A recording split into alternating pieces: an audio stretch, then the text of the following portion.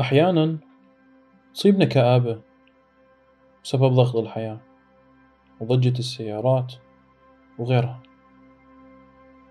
ممكن يجيك اتصال يسعدك ويغير مزاجك. ممكن أصحابك هم يغيرون مزاجك.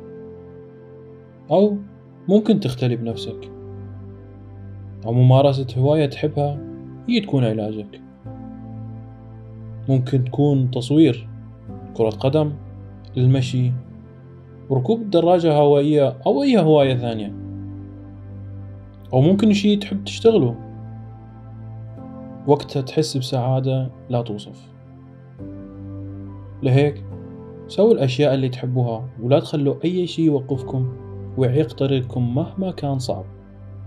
جرب وحاول إلا ما يجي يوم وتنجح وتزبط معك.